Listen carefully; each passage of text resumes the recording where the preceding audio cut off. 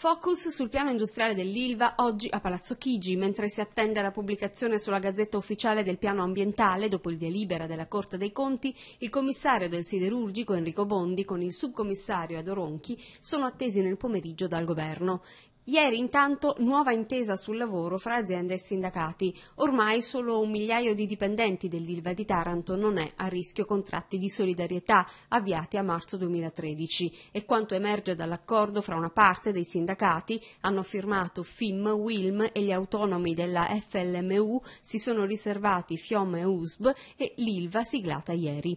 L'accordo amplia da 9.000 a 10.240 la platea dei lavoratori potenzialmente coinvolti, mentre abbassa di 128 unità il tetto giornaliero raggiungibile dall'azienda. Attualmente circa 700 lavoratori a rotazione sono in solidarietà totale 8 ore, mentre da ieri oltre 2000 dipendenti sono in solidarietà di un'ora.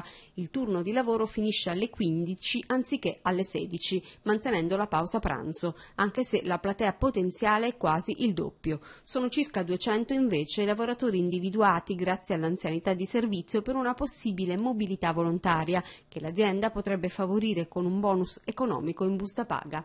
Oggi intanto a Palazzo Chigi l'attenzione sarà focalizzata su circa 4 miliardi di euro che servono per finanziare nell'arco di 3-5 anni sia gli interventi ambientali sia quelli tecnologici e per la sicurezza.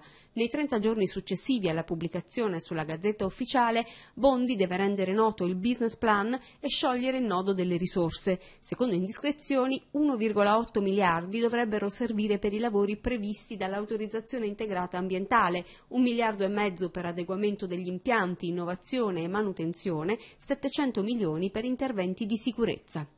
Come primo passo Bondi dovrà chiedere un aumento di capitale alla famiglia Riva, che il 30 aprile scorso ha perso il capostipite Emilio, morto all'età di 87 anni.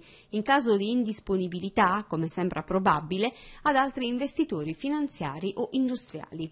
Bondi sarebbe comunque intenzionato a chiedere alla magistratura lo sblocco di 1,9 miliardi sequestrati ai Riva per reati non ambientali.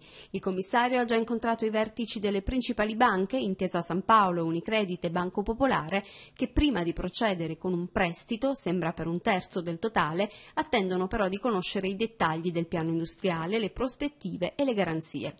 Sul fronte industriale, sull'impianto siderurgico tarantino, il più grande d'Europa, sembrano essere puntati gli occhi del colosso mondiale dell'acciaio, ArcelorMittal.